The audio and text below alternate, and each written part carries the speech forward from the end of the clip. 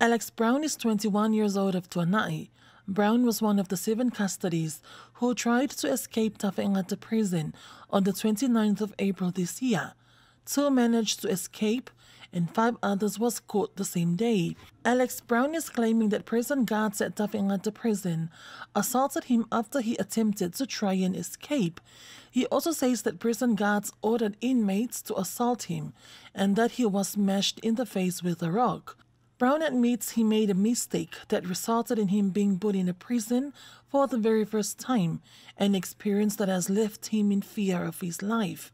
He claims that he was not only assaulted by prison staff, but that he was also inhumanely treated, locked in isolation cell, and left them completely naked for two days, an experience that has left him traumatized and still in shock. Brown's father spoke to Talafo on the 30th of April, raising concerns that his son has been assaulted by prison staff and inmates. At the time, the Assistant Commissioner Polo Rosa To'ese stated on camera to Talafo that the claims were wrong and that no such thing happened.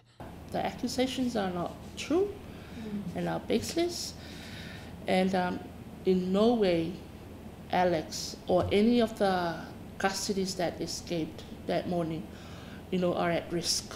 A male witness also spoke to Talafo. To protect his identity, we have agreed to not show his face. He claims that he's seen prison guards and other inmates assault five custodies. That includes Alex Brown. Alex Brown's family have already filed a formal complaint with the Office of the Ombudsman, and just yesterday he says the Ombudsman said they must bring in two to three eyewitnesses of the prison assault. They are also awaiting for a response from the Tafaigata prison following a formal complaint lodged by Alex's parents. Check Simonutafa for telephone.